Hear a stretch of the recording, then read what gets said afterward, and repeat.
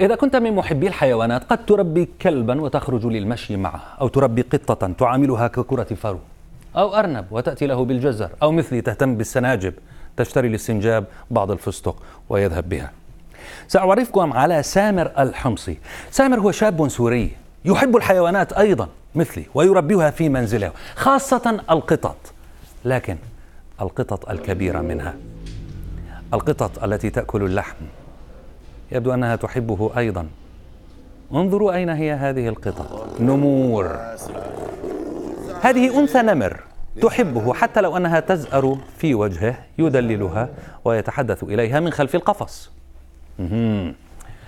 وضع إصبع يدك بالقرب من وجه نمر. لا يبدو فكرة جيدة لكنه ببساطة يخشى أن ينظر إليها النمر كطعام. لكن سامر يبدو واثقا جدا بتقريب أصابعه من فم الأسد. هذه أنثى الأسد اللبؤة.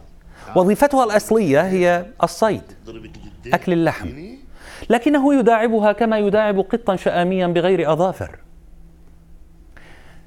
وسامر لديه ثلاثون من هذه الوحوش ويحتفظ بها في هذه الضاحية التي تقترب من دمشق من ضواحي جنوبية بدمشق واسمها جرمانة يعرفها الجميع. هذه حيوانات برية متوحشة بطبيعتها كما تعلمون ومع ذلك سامر يراها لطيفة وفيها شيء من الحنان. استمعوا إليه. بلشت هوايتي بكل جميع أنواع الحيوانات لما شفت ألافتها لما شفت حنيتها لأولادها آه، الحيوانات كتير جنس لطيف وحلوة. طبعا هو لديه طموح استثماري مع حيواناته ويأمل أن يفتتح أفضل حديقة حيوانات في سوريا. هلأ أنا مقدم على حديقة حيوانات العدوي. وإن شاء الله بدي أعمل أهم حديقة حيوانات بسوريا. وجيب جميع أنواع الحيوانات ببلدي سوريا. آه، خلي الرحى المدارس آه، بسوريا ما في حديقة حيوانات مهمة. ينضم إلي من دمشق مربي الحيوانات المفترسة سامر الحمصي. مرحبا بك يا سامر. سامر في سوريا لا يوجد هذه الأنواع من الحيوانات لكنك أنت تربي أسود دببة أيضا تربي النمور. من أين أتيت بها؟ ببساطة. أنا حصلت من 25 سنة على حديقة حيوانات واستوردتهم. بسبب الأزمة والمجموعات الإرهابية راحت الحديقة.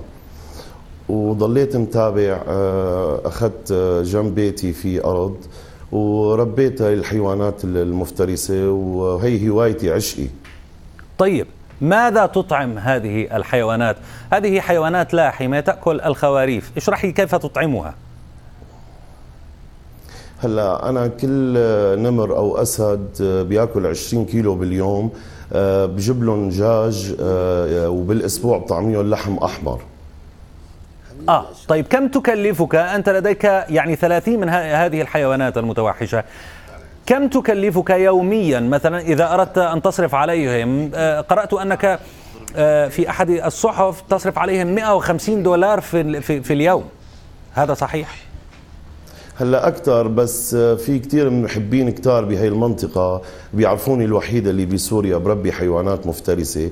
في كثير عالم بتقدم وبتجيب آه، جاج وفي آه، طبعات اللي بيوزعوا جاج بيموت معهم على الطريق. آه، كثير في عالم بتساعدني. طيب رأيتك وأنت تلعب مع الأسد تلعب مع اللبؤة والنمر وتقول لها حبيبتي في القفص وحبيبتي وزغرونتي. لكن ألا تخشى أن تقول لك مثلا هي في قلبها أنت طعامي يا حبيبي طعامي أنت. هلا هي حيوانات مفترسة بس لما بتربيها بصغارها وبتشوف شلون عم تعاملك وتعاملها هي حيوانات كتير أليفة ولطيفة.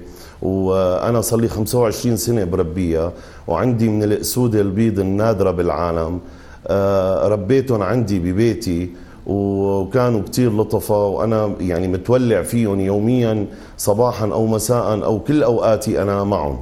شاهدت الكثير من الفيديوهات لبعض الأسود وبعض النمور التي تأكل بشرا في حدائق حيوانات معتمدة. لماذا تفعل هذا؟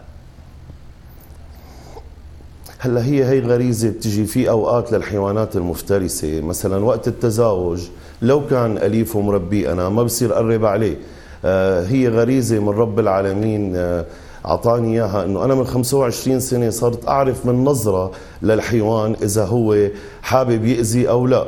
هلأ آه كثير أنا بفوت على حيوانات لو مربية بشوف إنه مزاجها مو رايق هلأ ما بصير فوت عليها. آه يعني هي هي آه كل إنسان بيربي حيوانات مفترسة أو أي نوع من الحيوانات هو بيكون إنسان عاطفي. لأنه أنت عم تدير بالك عليه أنت عم تقدم له اللي بده إياه. آه، هو ما بيعرف ما بيقول لك بدي آكل. يعني لما نعم. بتقدم له آه، الأكل بتقدم له الراحة. نعم. آه، كل الشكر لك. فيك. كل الشكر لك آه، آه، سامر الحمصي مربي الحيوانات المفترسة في جرمان بضاحية دمشق. شكرا لك.